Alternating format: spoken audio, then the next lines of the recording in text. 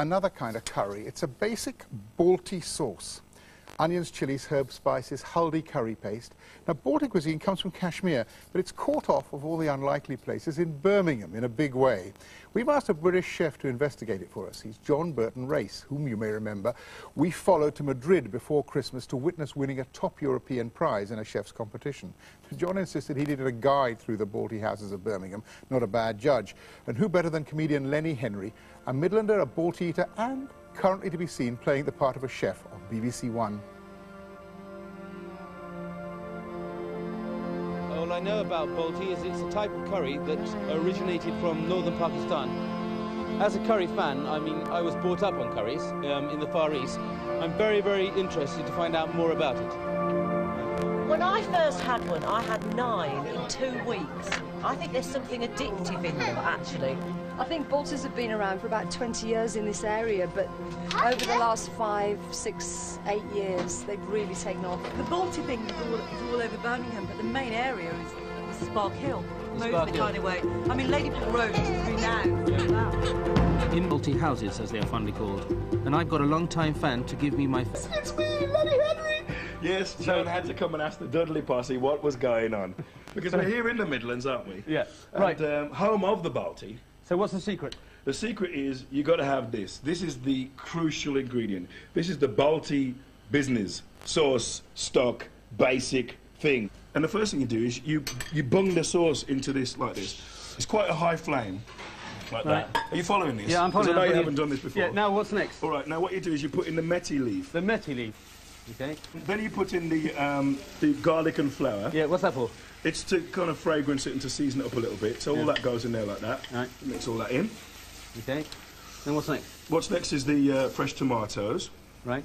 There they are, like that. Fresh tomatoes. Uh, this is cumin. Right. That goes in as well, like that. And uh, the penultimate thing that you pop in is the coriander, which Yeah. is the fresh coriander leaf, like this.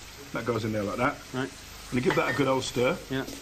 What we're going to have with this is king prawns. And you just bung them in like that. Yep. That's good. That's going to be good, right? You know that's going to be good. good. You I can tell. you. I trust you. I trust you. Right. This is a nan. Yeah. Right now, it's really, really important to Balti because they don't really have rice. I mean, you can get rice with them, but Yeah. what you do is this container will come to the table and it'll be hot, boiling food, and it'll be wonderful. And then you'll get a nan. You'll get like a pile of nans plus your lager or whatever it is you choose to drink with it, Right. and you just tear it off. Yeah. And as they say in the West Indies, this ready, know you know. Okay. Right. So Can I uh, taste it? Yeah, of course. Just put the little spoon there. What's the matter with you, man? That's the Autoland business. You don't eat it with a spoon. You don't eat it with a spoon, you eat it with a naan. Like I told you, naan is really important. You Okay. dip the naan in, you grab a piece of king Okay. prawn or the sauce. I'll get the sauce. Yeah, I'll go get on. the sauce. How is it? Hmm. Beautiful. You're quite clever. You know exactly what I'm talking about. talking about Balti, y'all. All right, now the reason we're coming in here uh, is because this is a very well-stocked off-license. Uh, if you're from the Midlands, you say the Offrey. Yeah. So uh, you come down the Offrey Yeah. because if you're going to have a Balti, what happens is, hi, how you doing? Nice to see you you. If you're going to have a Balti, uh, a lot of Balti places, in fact most Balti places, don't serve alcohol Yeah. because the people who run them are Muslim and it's against the Muslim religion. Off licenses around here pride themselves in stocking a wide variety of wines and beers to go with the Balti. Every Balti house in the area claims to be the first in Birmingham, but popular belief has it that Salim's was the first. The cook here is keen to show us how to make a typical Balti starter, Oh, samosas. now that's very slick indeed, Celine. Is this a vegetable samosa? This is a vegetable samosas. This is potatoes, uh, churning seeds, peas, onions, and salt and chili Mhm. powder. Do that. That goes around there to seal it. That's it. That's all it is. And they're deep fried. Just deep fried. fry it. and That's it. Will fry. That's minute. brilliant. How long do they have to fry for? About three minutes until they've gone brown, slightly brown. Uh-huh. The samosas are ready now. Would you like to taste them? Oh, yes, oh, yes, please. please, yeah, that one. Thanks. Delicious. very hot. Very warm. Very. Very, very, very good. Mm. All right, John, look, I've taken you around a working Balti kitchen. We've eaten Balti food. We've kind of done it. I've cooked something for you. But now I think you need some serious tuition, especially if you're going to go off and do this on your own. Where, where do you think I should go? Oh, I don't know, mate. You're on your own. Well, thanks a lot. Ask anybody around here. They'll no, tell well, you. I think I can manage, don't worry. All right. Thanks for your help, mate. Be lucky. Yeah. Ta-da. Take it easy. He hasn't got a hope in hell. Before I'm put to the final test, I need to find out how to make naans, and who better than the known naan king Mohammed Sharif.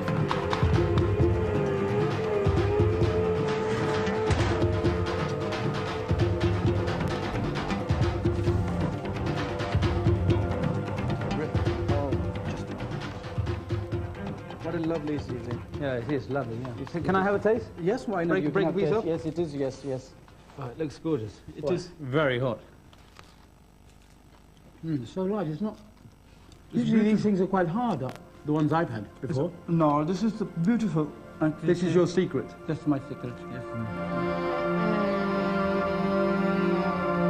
It's a night, I'm told, that the Balti addicts come out of the woodwork. All I need now is to find some who will allow me to cook them. How about if tonight, after spending a whole day up here with hundreds and hundreds of Pakistani guys showing me what to do, I cook you a meal? Could you handle it? I'm going for a laugh. You're going for a laugh. Give me five minutes and I'll blow your mind. This is nothing like I'm used to, and to be honest, I feel a bit out of my depth. But this is great food, which I highly recommend. I just hope I can please my customers who have placed themselves in my hands. There's something in them that just put you into Balti friends. Friends in Australia. And, and the first thing they want to do when they come to the UK is come to Brum and just have a Balti. Today I met someone, I said, tonight I'm going for Balti friends. Oh, I could just have one myself. And then I knew I liked them. Bumba, who's having the chicken bumba? Like it. What do you think of it? No, I like it. I do like it. You've got it just, just about You have perfect got now. plenty of coriander, which is a good thing. If you've achieved all this in one day, then I'm really impressed. Yes, come again.